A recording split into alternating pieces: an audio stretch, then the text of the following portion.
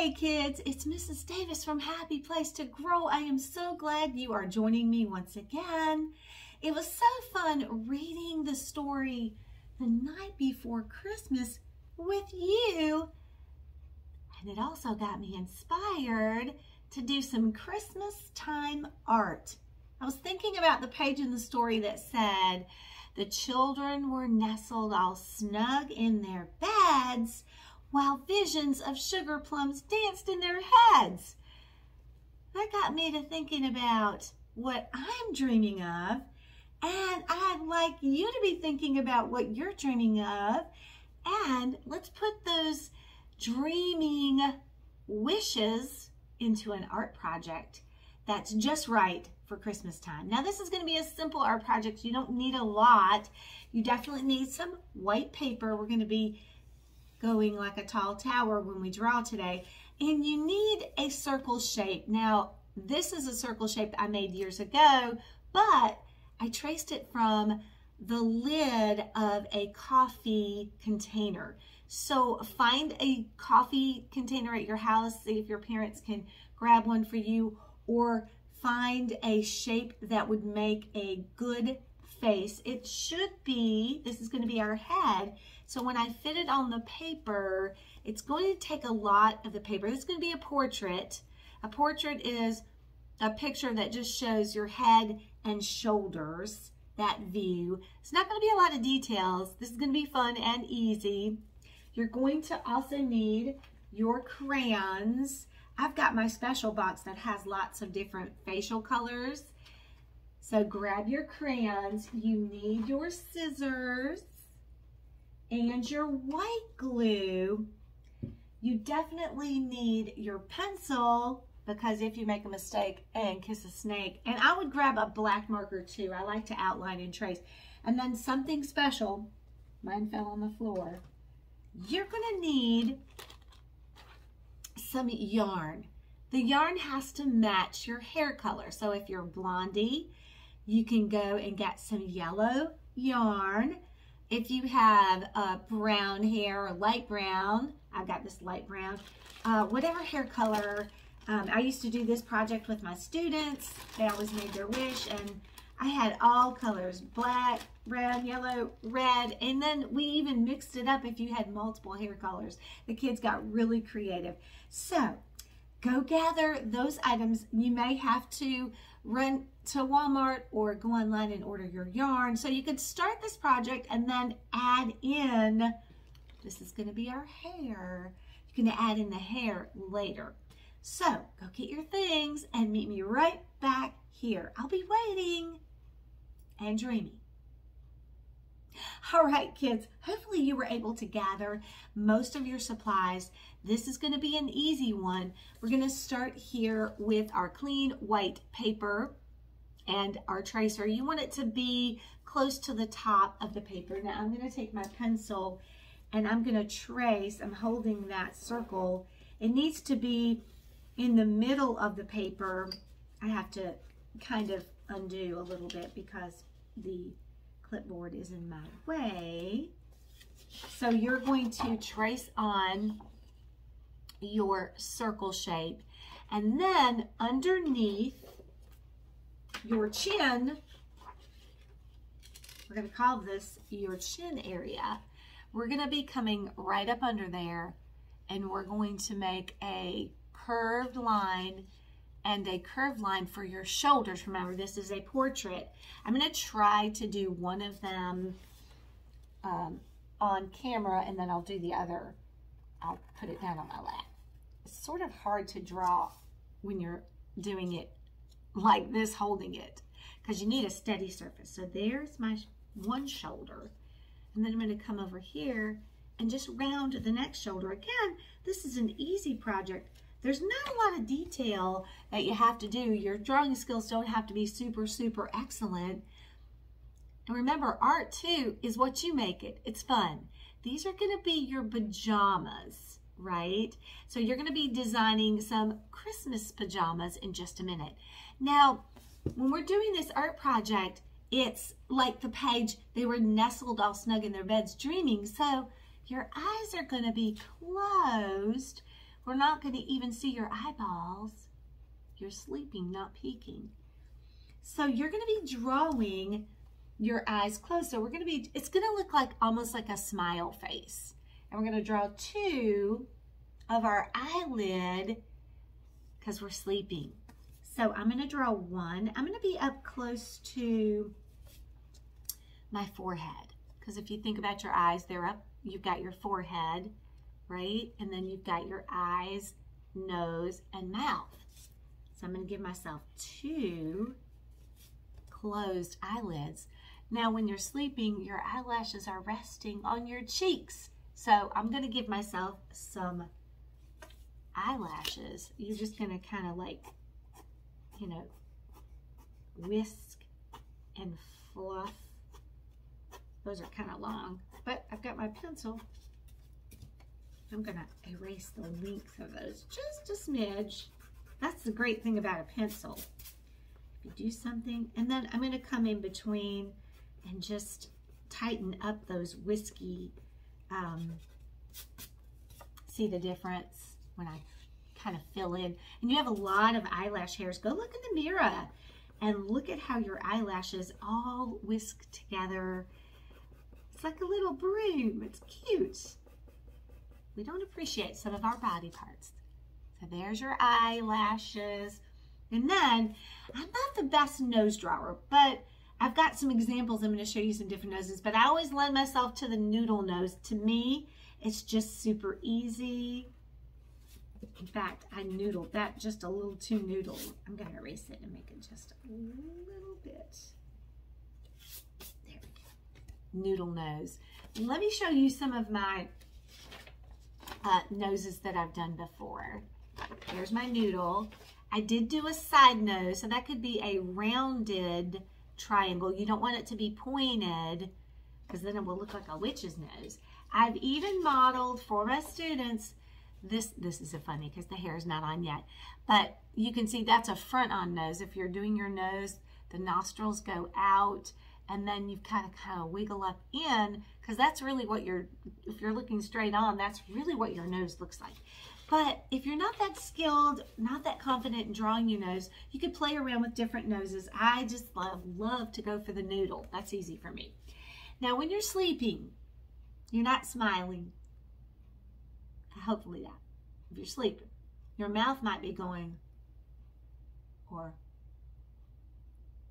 you know it might even be on the side. So over the years i've done different models of different mouths so that one's not really open that much closed this one's kind of open hanging open sometimes i wake up in the middle of the night and i'm kind of snoring a little so over the years, I've told my students, you know, think about how your mouth might, how you want your mouth to, to be shaped. These are all models that I've done over the years. They're so cute. Mouth is open. Here's another Baldy. So you have to decide. I think I'm to go with uh, a model similar to this one. It's kind of uh, a slightly opened so I'm to kind of go, this is to be like the top lip. And you can add lips if you want, or, you know, you can just make it a simple mouth. Again, it's your art. I'll be filling the inside with a peachy pink, and then I'll go over, because if you look at your lips, they, they have um, nice blood flow in them, so they're pink. And they're not a hot pink, but they are a life-giving pink. So we'll be putting some color to our face in just a minute. There's your face, your sleeping face. Now pajamas are really fun. I'm gonna give myself a collar. Now some of my models have Christmas pajamas that I started from us because I always will start my students out with a model and we'll work together. Oh, this one has eyebrows. Before we go on to pajamas, yeah, I've got eyebrows. Sometimes I forget ears and eyebrows when I'm doing my drawing. So eyebrows are going to be the same shape as your eyelashes, but they're going to be above and they're going to arch up. So I'm going to go with a, a arch up. And you know, your eyebrows are kind of fuzzy. So when we add our crayon and we add our color, I'm going to show you these in just a second. We'll kind of plump those up. So I just simply went here and kind of arched up. And then we'll add some color. Should I add some ears? Even though my hair might be covering, I, I don't know why I always forget the ears. And my students will say, Miss Davis, you forgot the ears. Okay. Sort of look a little elfish. All right, there, we're hopefully ready now. Let's do pajamas. So over the years, I've done some different pajamas. Good thing I was looking at my models from years past. Candy canes. I've got little buttons. Hey, if you don't love Christmas pajamas, I always tell my students I did smiley faces. You can do, um, you could do Christmas pajamas, or you could do. Let me look, grab on the floor here and see if I've got any other pajamas. You could just do. Um, this one's got candy canes. That's cute. The other one had candy canes too. I must like him. This one has hearts. So say you don't love Christmas pajamas, but you want just any kind of fun pajamas, rainbows, uh, race cars, a favorite cartoon character. So they don't have to be Christmassy. But since it is Christmas, you know, you might want to do some reindeer, get really creative. I'm going to put a couple buttons. And then you're just going to fill in that space with whatever your pajamas are going to have on them. If they're going to have like little candy canes or they're going to have like a Christmas tree shape. You know, you just draw those in. Always draw in pencil because we're going to come back in just a minute and we're going to be filling in the colors. All right, so next step after you do all of your drawing is we're going to be coloring our facial parts because we're not white ghosts. So whatever your skin color, this matches you. This is you dreaming. So you're going to want to be thinking about your skin color and your hair color. So I'm going to use a little bit of, I'm just going to spread my crayons out here. I'm going to use a little bit of brown um, for my, some light brown for my, I'm going to start with my um, eyebrows. Oh, before I do my eyebrows, let me do my skin color because I think if I go ahead and put my skin color, I'm going to be washing all over my face and just going all over my face. I love this multicultural box of crayons because it's got all kinds of really cool skin colors. It can match everybody in the world. Let me see if I can find a peachy peach here. Okay, let me try this one. So what I'm going to do is I'm just going to go over my face and my neck here with a peach color.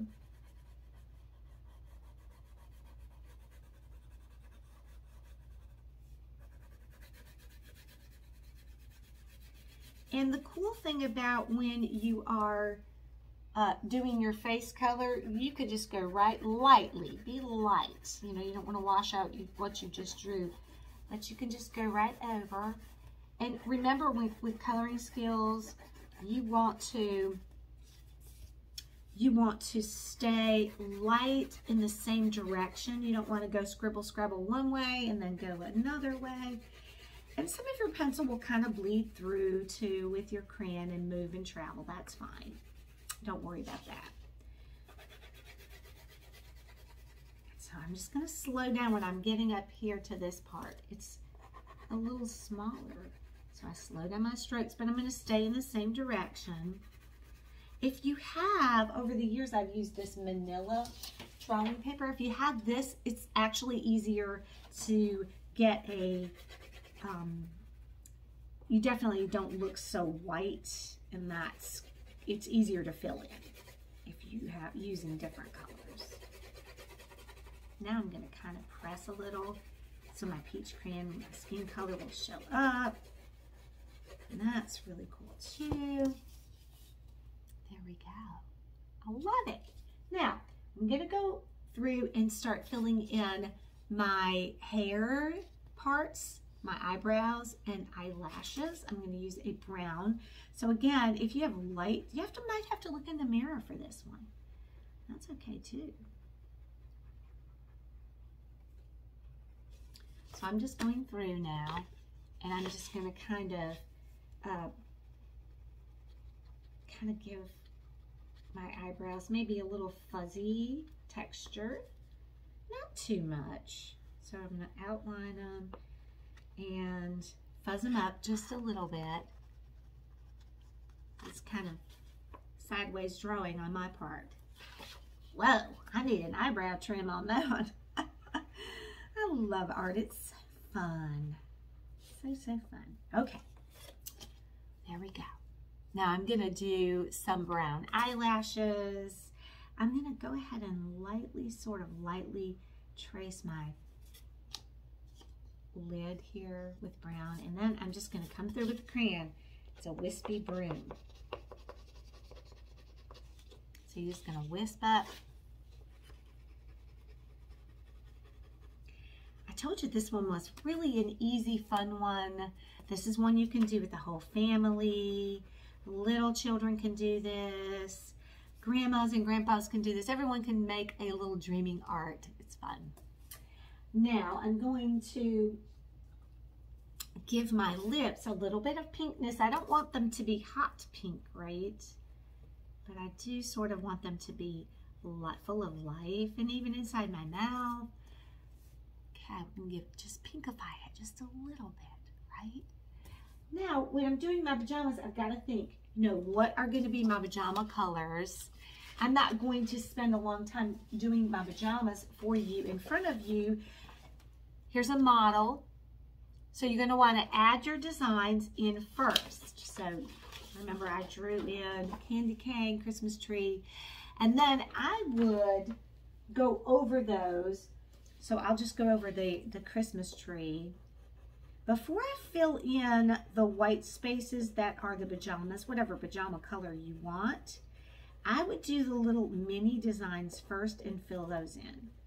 You want to get those looking really, really strong and bright and popping out before you fill in the space. And I'm just going to do a little bit of this so you get the idea of how you're going to you're going to have to drive your little, you're going to have to be like Santa and drive your sleigh around things and not crash into things on this part of it. So if I have my, I'm just going to put a few designs for you. And then I'm going to show you how to fill in your pajamas in it a way that doesn't, going fast, that doesn't run over top of your design. So just say I wanted my pajamas to be red because it's Christmas, right? Red's a dark color. So first of all, I would probably trace my collar. I might leave my collar white. That would be nice. And then I'll trace my shoulders to match my to match my pajamas. I'm not going to trace up here because that's my chin and this is open because I have a collar here. I have a rounded collar. So when you're coloring, decide if I, you're going to go this way or this way. I think I'm going to go up and down.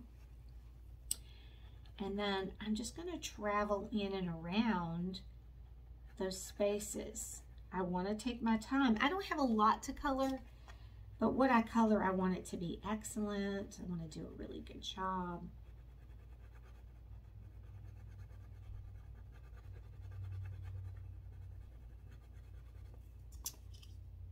See how I'm just kind of dancing around with my crayon. When I get to a narrow spot, let me hold that up so you can see that. I'm going to go very slow and gentle. That. And I'm not going to go over top of it and wash it out. I want to go around it.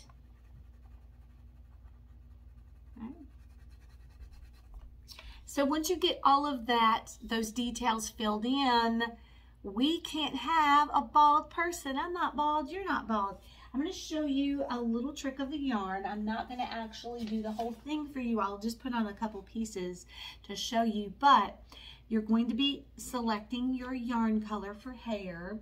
You can put different colors of yarn in there. If you have different, you can see I have some dark and light, so I can do that.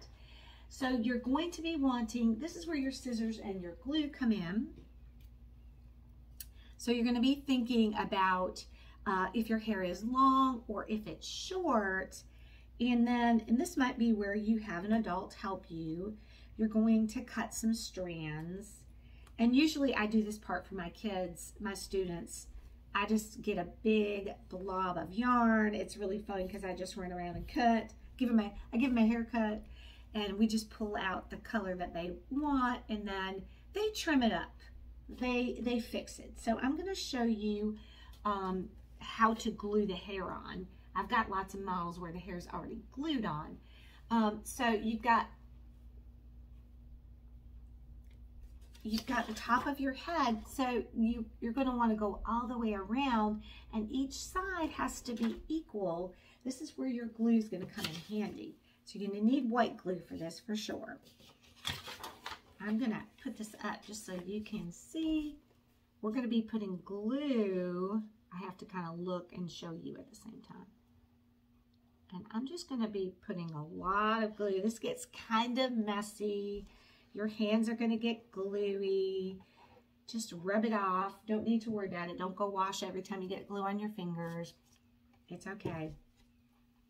Glue dries. Now, I'm going to sit this right here just so you can see that's where I'm going to start. And then I'm going to shape it around my the top of my head. That way I can, and whoops, oh no, I fell down.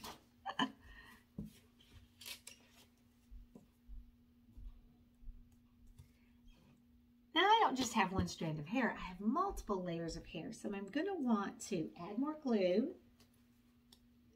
I'm gonna go ahead and I'm gonna add some more glue for you to see. And then I'm gonna go around.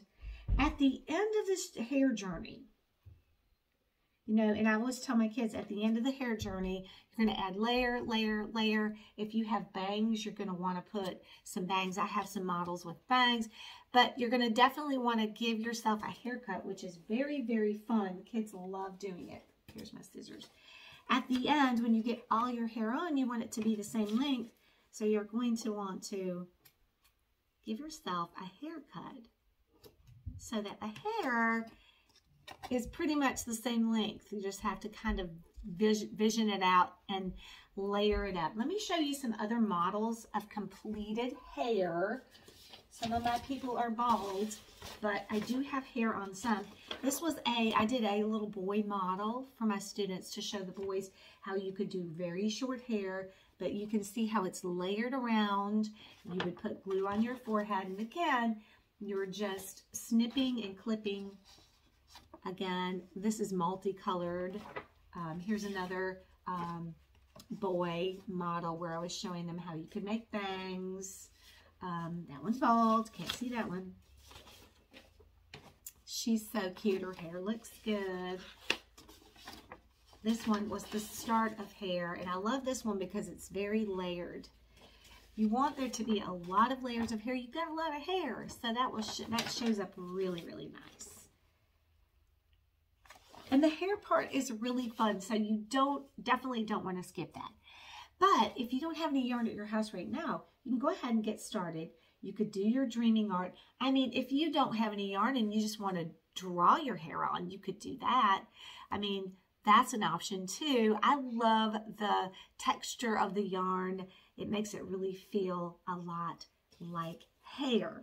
And it looks great when you're displaying it. You're going to want to display this at your house I always put it out in the hall um, for uh, all the school to see, and the kids love seeing themselves too.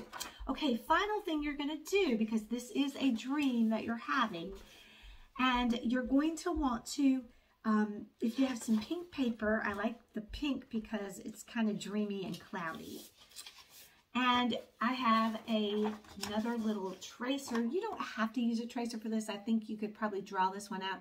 It's like a cloud, but if you could create a stencil for this, you would put this on and then you would trace that um, cloud shape. I'm going to go just go ahead and trace one and show you. This is where the black marker is going to come in handy because you're going to want your writing that you write because we are sleeping, but we have to know what you're dreaming about too. So I'm going to come up around here with my black marker just so that pops out. So make sort of a cloud shape a dreaming shape. And then see that little, there's a little, um, sort of a little point. That's going to be pointing at your head when it's all said and done. I'm going to show you one that I did a couple years ago. I was dreaming of a special toothbrush called the Sonicare. So you would cut out your dream and then you put it by the top of your head. This says, I am dreaming of a Sonicare electric, electric toothbrush. So you're going to share in your dream bubble what you're dreaming of and draw a little mini picture. Again, not many details of what you need to do. So just dream. Are you dreaming of a stuffed animal? Are you dreaming of a video game? Are you dreaming of something big like an iPad or a TV or a puppy or some candy. What are you dreaming of? You can put it in your bubble. You're going to start at the top. I, you're going to capitalize your I because it's you, special you. And you're going to space, am, be thoughtful on this one. Dreaming, if you don't know how to spell dreaming, you can ask a family member to help you. Dream plus ing, it's what you're doing. When you add that ing, you're dreaming of. And then this part is whatever you're dreaming of. You're filling in your dream. We're all different. We all have something special we want for Christmas. You may want a lot of different things, but in this dream bubble art, I would definitely put my very best and favorite thing. One year, I'll share a fun story. One year I put, I am dreaming of a diamond, sparkling diamond ring. That was my Christmas dream, and I did it for the kids. And then after Christmas, when we got back in the new year, one of my students had something on my desk.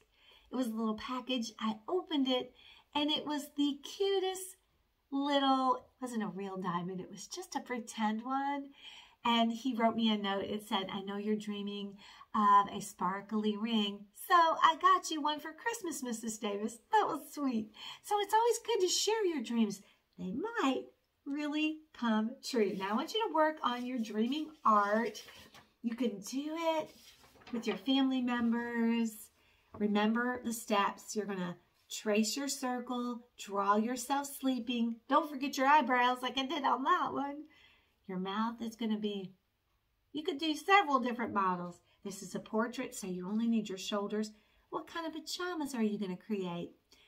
Well, I know you're going to have fun. Don't forget step two, what you're dreaming of. Put the two together into one really fun and cool art project. I'm dreaming of a lot of things for Christmas. And you know, your dreams just might come true. All right, kids, until our next time together, get those art skills out, get them going. This is a great family project. It's really fun and super easy. You know, I love easy. You can do this one. All right, as always, stay on the nice list, and I'll see you next time.